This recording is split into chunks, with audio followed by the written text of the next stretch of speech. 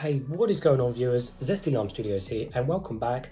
Question time with Zesty Lime. The answers. So,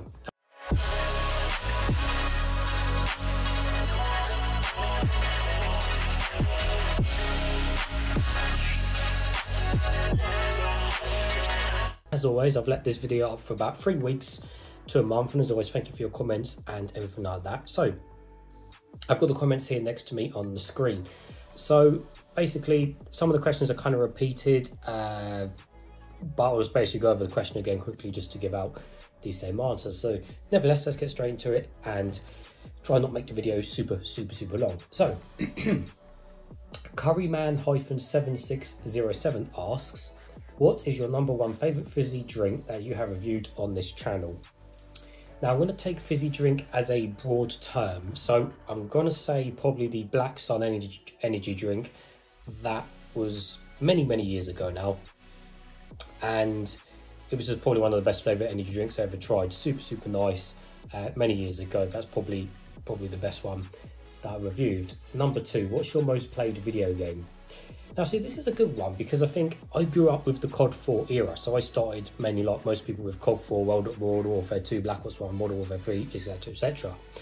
Now, I think of all the games I played today, and even though I don't play many games these days because of time, I think what did I sit my ass on seven days a week back then? And it was literally all of the old Call of Duty. But I'm trying to think which Call of Duty out of all of them I sat on the most. And in all honesty, it was probably one of the Treyarch games because of zombies, because even when a new like Modern Warfare was released, I still went back to like obviously World at War Zombies at the time because Zombies was just so freaking good. And of course, when Modern Warfare 2 came out, we still only had World at War Zombies.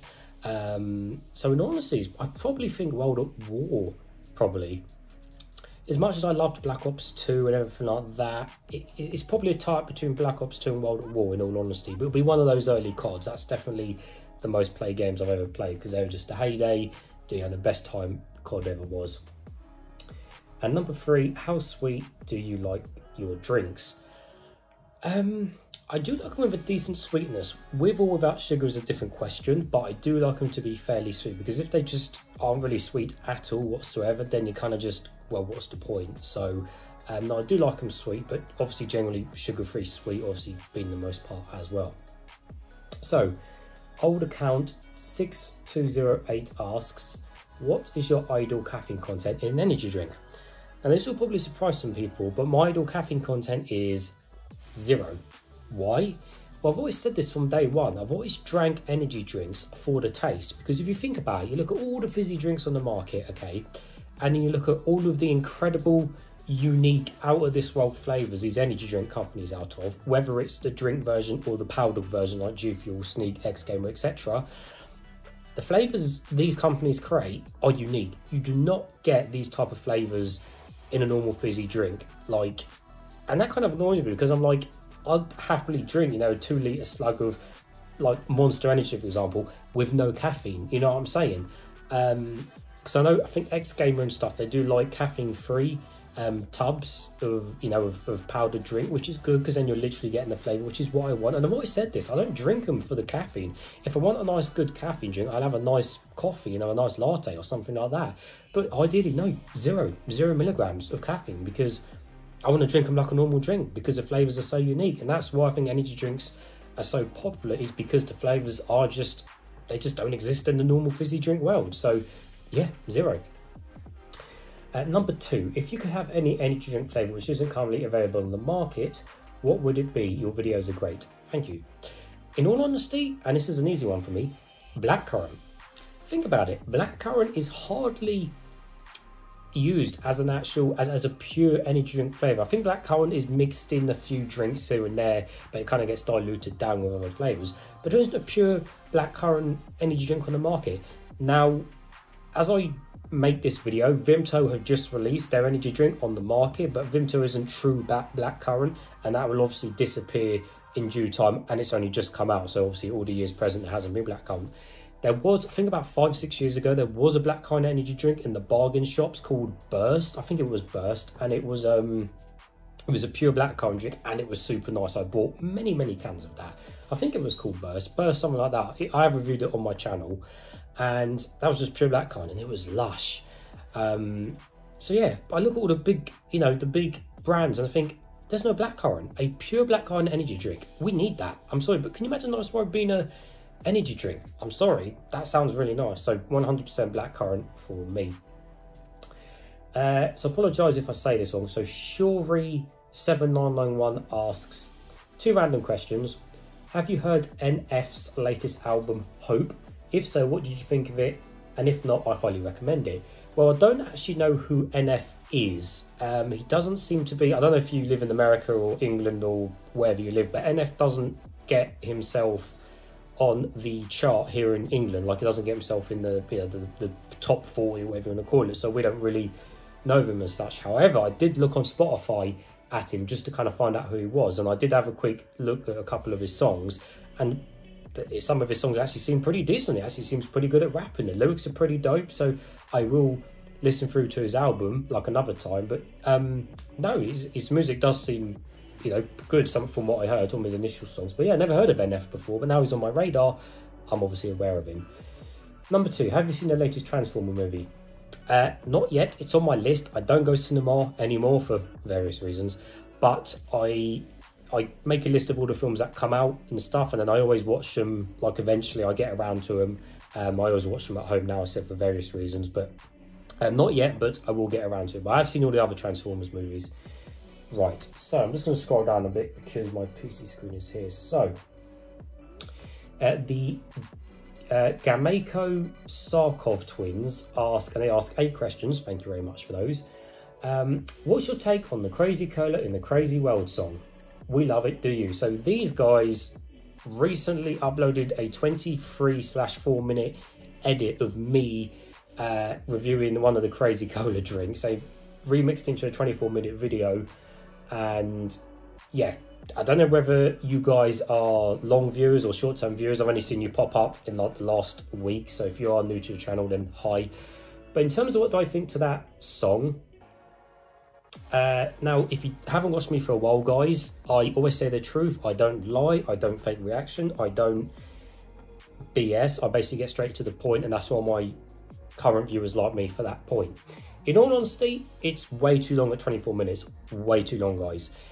What I'd suggest is remake that song, but put it down into a nice three minute to three and a half segment, make it a bit more upbeat, then show me that song. But 24 minutes, it's way too long, guys way too long. And you guys done me dirty on the thumbnail. Look, just because I got a hat on doesn't mean I have hair. I do have hair, guys, but you made me bald, almost bald in the thumbnail. You guys done me dirty there. But yes, in all honesty, make it to a three, three minute song, a lot more upbeat, up the tempo, and then we can have another listen. Number two, any way to send you cans from abroad without giving you my personal address? Uh, no. The only other way is to make a PO box where you send it into a like a well, PO box is basically you go to like a local delivery hub, so like Royal Mail here in England, because um, I'm guessing you're not in England from that set from that question.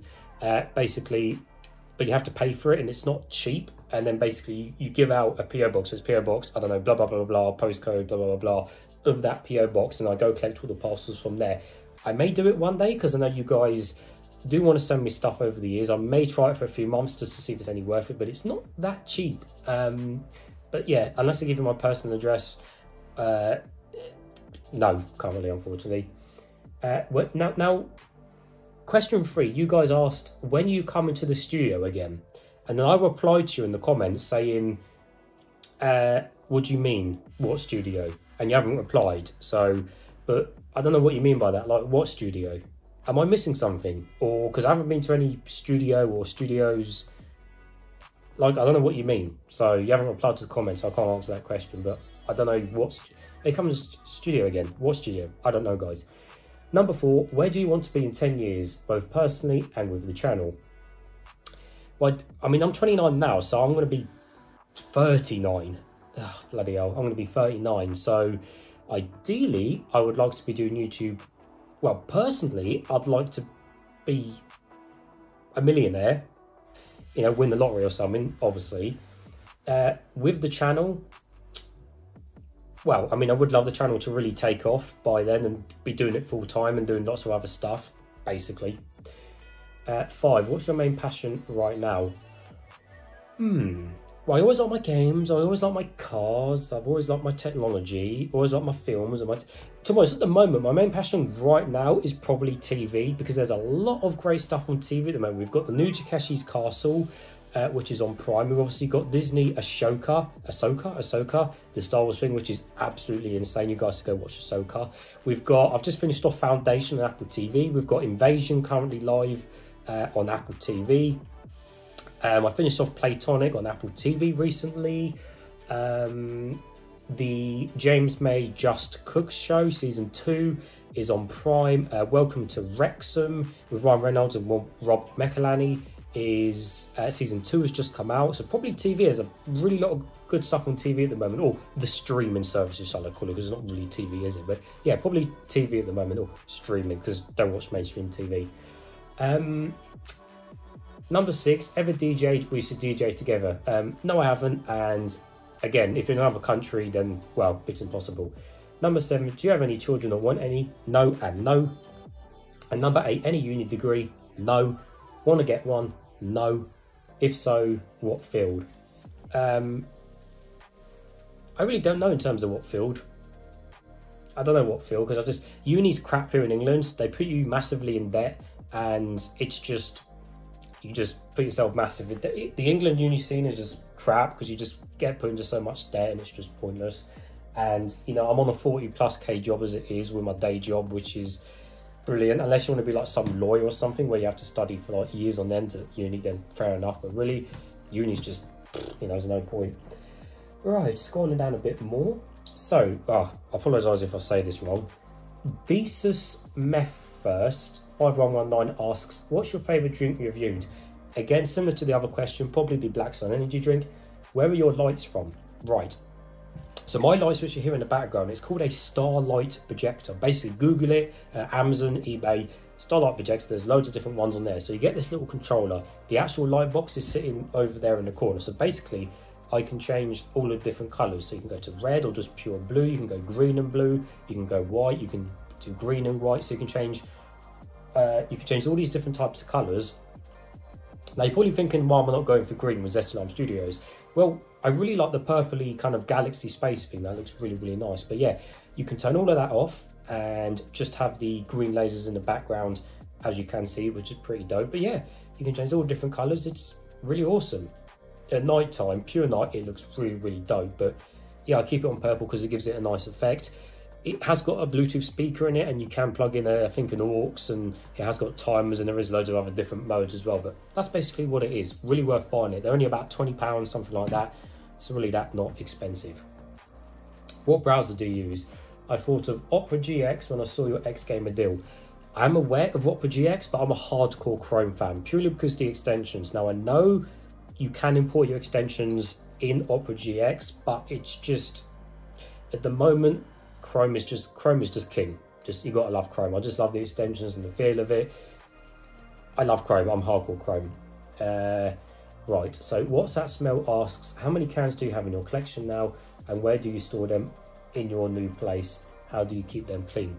Well, keeping them clean, basically rinse them out of water, dry them, and then basically just yeah, you got to clean a bit of dust off the top now and then. Whatever cans on top, if you double stack them. Apart from that, as long as you rinse them out, they stay clean how many cans? Well, I did chuck out a load of cans before moving because I just haven't got the space. I was running out of space. Um, I kept, you know, Monster, Rockstar, Relentless, and all the Red Bull cans and some special cans. I probably have got over 100 still, um, but not as many as I used to.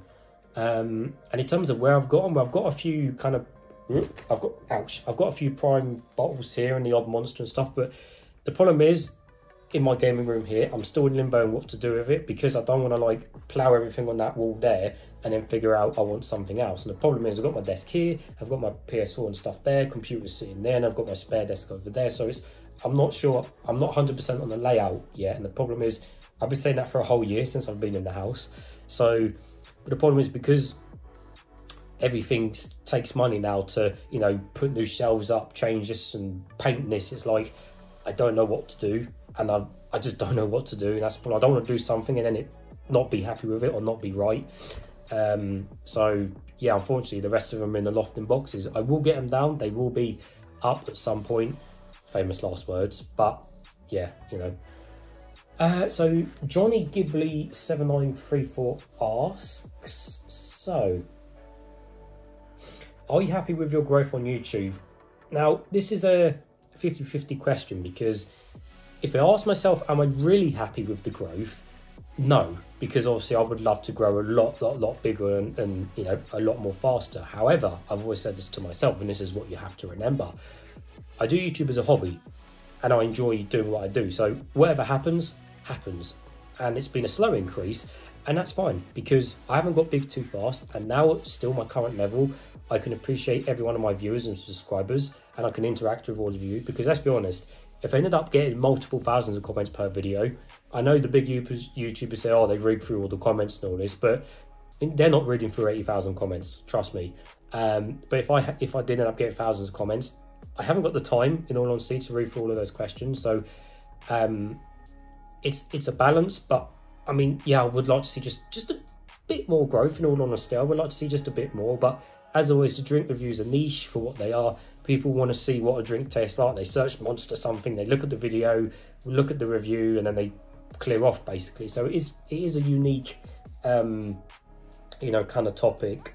But yeah, I would like it to be a bit more for the amount of time I'm spending on it now.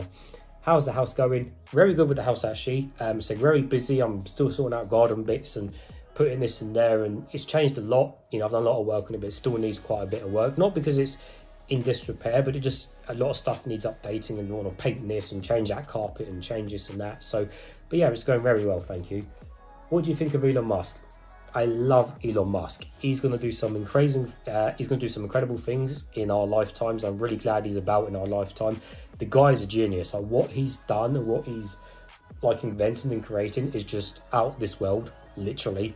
Uh, so no, I really like Elon Musk, and you know I'm really glad he bought Twitter because it's really going to protect like free speech and stuff like that. If you guys follow me on Twitter, um, you'll get a different side to me on Twitter, X, whatever call it, X Twitter. You'll get a different side to me on Twitter. Twitter is Zesty Lime Studio.